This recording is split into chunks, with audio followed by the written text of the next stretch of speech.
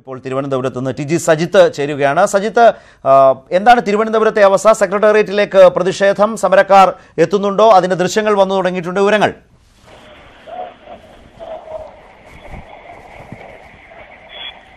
സജിത് ചെറുത്ത് യൂത്ത് കോൺഗ്രസിന്റെ പ്രതിഷേധം തുടരുകയാണ്. അവർ പിണറായി വിജയൻ മുഖ്യമന്ത്രിയുടെ കോലം കത്തിച്ചാണ് പ്രതിഷേധിക്കുന്നത്.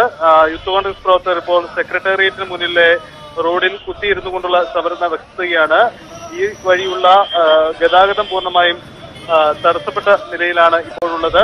ശക്തമായ ഒരു പ്രതിഷേധത്തിനാണ് യൂത്ത് കോൺഗ്രസ് പ്രവർത്തകർ ശ്രമിക്കുന്നത്. ഏകദേശം അൻപതോളം വരുന്ന പ്രവർത്തകരാണ് റോഡിൽ കുത്തിയിരുന്നുള്ള സമരം ചെയ്യുന്നത്. സ്ഥലത്ത് വലിയ പോലീസ് സംഘവും ക്യാമ്പ് ചെയ്യുന്നുണ്ട്. അനിഷ്ട സംഭവങ്ങൾ ഒഴിവാക്കുന്നതിന് വേണ്ടി പോലീസും തയ്യാറെടുത്തിട്ടുണ്ട്. എന്തായാലും പ്രതിഷേധം ഇവിടെ തുടരുകയാണ്. ചെറുപ്പം. യൂത്ത് കോൺഗ്രസ് പ്രവർത്തകരാണോ പ്രതിഷേധത്തിൽ ഇപ്പോൾ അണിനിരന്നിട്ടുള്ളത്? അതെ അതെ. യൂത്ത് കോൺഗ്രസ് പ്രവർത്തകരാണ് ഇപ്പോൾ പ്രതിഷേധത്തിന് അണിനിരന്നിരിക്കുന്നത്. മുഖ്യമന്ത്രി രാജിവെക്കണമെന്ന ആവശ്യമാണ് ഇവർ ഉയർത്തുന്നത്. തുടർച്ചയായി ഉണ്ടാകുന്ന പോലീസുമായി ബന്ധപ്പെട്ട അക്രമ സംഭവങ്ങളാണ് ഇവർ ഉയർത്തിക്കാട്ടുന്നത്. മുഖ്യമന്ത്രി പിണറായി വിജയന്റെ കോലം കത്തിച്ചു. തുടർന്നാണ് റോഡിൽ കുത്തിയിരുന്നു കൊണ്ടുള്ള സമരം നടത്തുന്നത്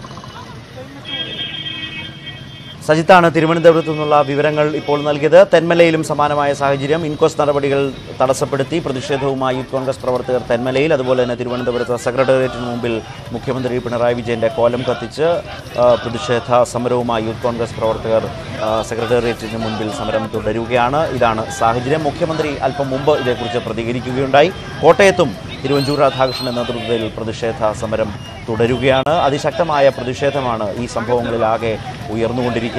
ചെങ്ങന്നൂർ ഉപതെരഞ്ഞെടുപ്പ് വാർത്തകളെ പോലും അപ്രസക്തമാക്കിക്കൊണ്ടാണ് കേരളം നടുക്കത്തോടെ ഈ ദുരഭിമാന കൊലയും അതിന് പിന്നിൽ പ്രവർത്തിച്ചവരെയും അവരുടെ നീക്കങ്ങളെയും അതിന് ഒച്ച ചെയ്തുകൊണ്ട് പോലീസ് മണിക്കൂറുകൾ പെൺകു ഭാര്യയുടെയും അച്ഛന്റെയും ഒക്കെ പരാതി മുക്കി കൊലയാളികളെ സഹായിക്കും വിധം പ്രവർത്തിച്ചതും ഒക്കെ വലിയ ഞെട്ടലോടെ കേരളം കണ്ടുകൊണ്ടിരിക്കുന്നത്. തെന്മലയിൽ നിന്ന് വീണ്ടും രാകേഷ് ചേരുകയാണ്. രാകേഷ് എന്താണ് സ്ഥിതി?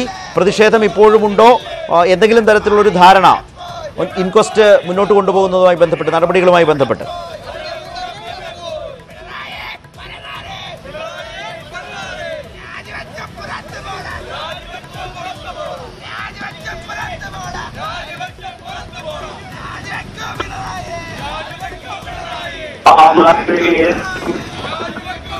പ്രദേശം